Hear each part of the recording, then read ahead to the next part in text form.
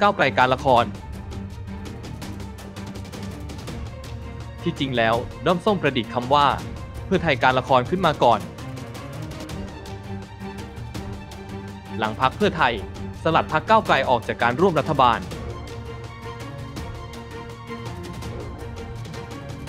จากนั้นจึงเริ่มเข้าสู่ก้าวไกลการละคร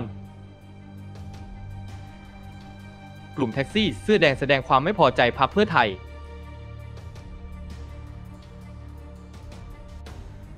ที่แท้แก่นนำกลับเป็นผู้สมัครสอสอบัญชีรายชื่อพักก้าวไกล ไม่รู้จักกลุ่มทะลุวัง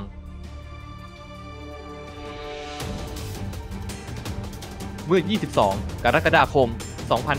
2565 สสก้าวไกลเคยเรียกร้องให้ปล่อยตัวกลุ่มทะลุวัง คุณหน้าสสหญิงท่านนี้หรือไม่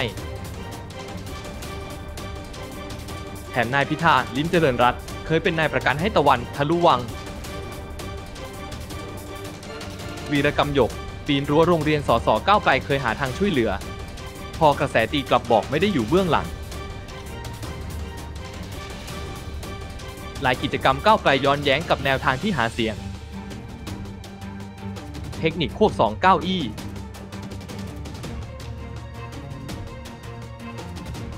พรรคก้าวไกลต้องการเป็นผู้นำฝ่ายค้าน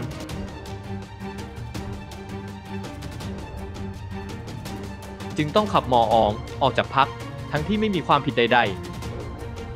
ๆ ส่งผลให้ก้าวไกลได้2เก้าอี้หนึ่งผู้นำฝ่ายค้านสองรองประธานสภา คนที่ 1 กระแสตีกลับกิจกรรมใด เททิ้งทันที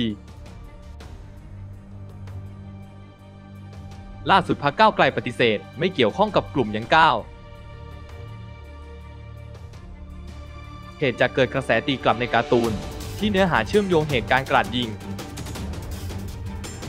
ชาวเน็ตตรวจสอบยังก้าวร่วมกิจกรรมกับก้าวไกลต่อเนื่อง คนวาดเป็นหนึ่งในผู้ร่วมก่อตั้งพรรคอนาคตใหม่